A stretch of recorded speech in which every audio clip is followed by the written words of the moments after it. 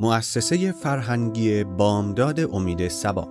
کلیاتی درباره حکومت جمهوری. نوشتاری از دکتر استاد مصطفی رحیمی. کلمه جمهور به معنای توده مردم است. پس حکومت جمهوری یعنی حکومت توده مردم. لغتنامه ده خدا و فرهنگ معین حکومت جمهوری را اینگونه تعریف کردند حکومتی که زمام آن به دست نمایندگان ملت باشد. فرهنگ های اروپایی حکومت جمهوری را به این مضمون تعریف می کنند. حکومتی که در آن مردم یا مستقیما اعمال حاکمیت می کنند یا توسط نمایندگان برگزیده خود. جمهوری بهترین صورت حکومت دموکراسی است. منتها جمهوری بیان کننده صورت و قالب حکومت است و دموکراسی بیان کننده محتوای آن. در حکومت استبدادی یک نفر یا یک عده بر کشوری فرمان میرانند. حکومت جمهوری به این وضع خاتمه می دهد.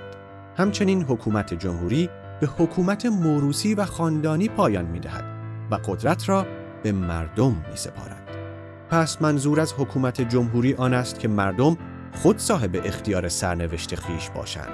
قدرت حکومت در دست مردم یا نمایندگان آنان باشد و تمام قدرت‌های حاکم بر مملکت ناشی از مردم شناخته شود. لازمه چنین حکومتی آن است که هیچ کس صاحب مقام رسمی نباشد مگر آنکه مردم آزادانه او را قدرت داده باشند و قدرت او نیز در اختیار و تحت نظارت مردم باشد در حکومت جمهوری هیچ کس حق ندارد به دستاویزهای گوناگون قدرت خاصی به دست آورد و به علت آنکه از طبقه یا گروه خاصی بوده است برای خیش امتیازی قائل شود. در جامعه جمهوری همه افراد مردم برابرند و آزاد. یکی از معانی برابری آن است که هیچ کس حق ندارد بیش از دیگری حق حاکمیت را به خود اختصاص دهد مگر اینکه نمایندگی داشته باشد. اشراف زاده همان اندازه حق دارد که دهقان زاده و بی سواد همان اندازه حق تعیین سرنوشت خود را دارد که باسواد. بنابراین در حکومت جمهوری حکومت متعلق به عموم مردم است که به نسبت مساوی در این حق شریکند اما چون عملا ممکن نیست که تمام مردم حکومت کنند از طرف آنان ادعی برگزیده می شوند و حکومت را در دست می گیرند. اما این عده که وکیل مردمند همیشه باید تحت نظارت مردم باشند زیرا در غیر این صورت ممکن است از این قدرت به ضرر دیگران بهره برداری کنند. معنای دیگر برابری آن است که همه مردم از امکانهای مساوی استفاده کنند. همه به یک نوع دادگاه بروند، یک نوع محاکمه شوند، هر کس حق داشته باشد به هر مقامی که شایسته اوست برسد و از هر مزیتی که در مملکت هست، ام از حقوق مادی یا معنوی استفاده کند. به عبارت دیگر، مردم از نظر حقوق برابر باشند. برابری آن است که همه مردم چه سیاه و چه سفید، چه دارا و چه فقیر، چه اعیانزاده و چه دهخانزاده مشمول یک قانون باشند. بنابراین در جامعه جمهوری رنگ پوست، ثروت، نژاد و نسب امتیازی ایجاد نمی کند. از بردگی نشانی نیست و روحانی و غیر روحانی اشراف و غیر اشراف همه برابرند. البته معنای برابری آن نیست که همه مردم در هر وضع و حالی که هستند از یک نوع امتیاز مادی و معنوی استفاده کنند. مثلا استاد دانشگاه و ولگرد بیکاره دارای یک نوع زندگی و صاحب امتیازهای مساوی باشند. معنای برابری آن است که یک نفر ولگرد در صورت داشتن استعداد و لیاقت بتواند استاد دانشگاه شود. و فرزند استاد دانشگاه اگر بیکاره و بی استعداد است حقی بیشتر از فرزند ولگرد بیکاره و بی استعداد نداشته باشد. در حکومت جمهوری مردم در صورت داشتن استعداد و لیاقت مساوی باید از یک نوع حقوق مادی و معنوی بهره مند شوند. باید راه ترقی به روی همه باز باشد همه بتوانند از فرهنگ استفاده کنند همه بتوانند کار کنند و همه بتوانند از حد اقل وسایل معیشت برخوردار شوند امتیازی جز نیروی فهم و عقل و شایستگی و سواد در میان نباشد.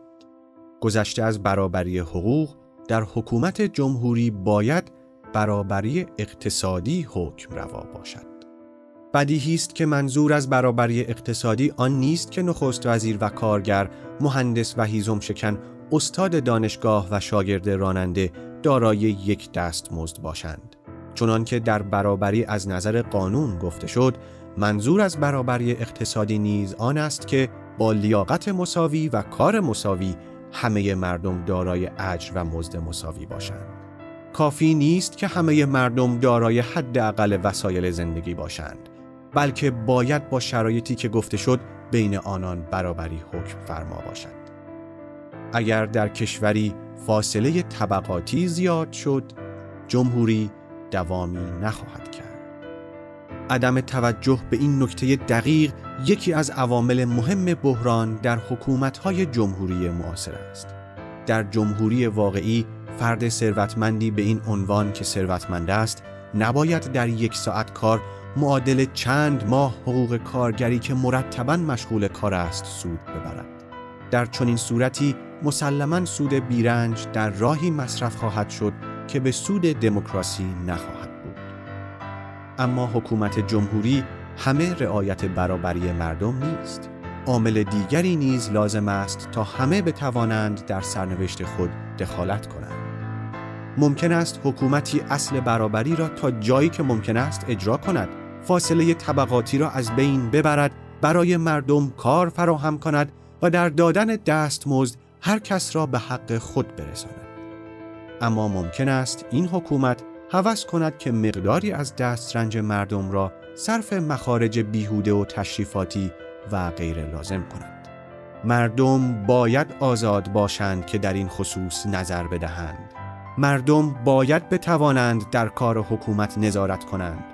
وگرنه این خطر هست که چرخ حکومت برخلاف نظر مردم به کار افتد. اصل دوم حکومت جمهوری آزادی است.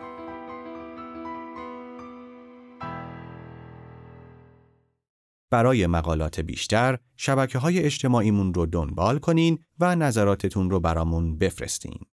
تهیه شده در مؤسسه فرهنگی بامداد امید سبا.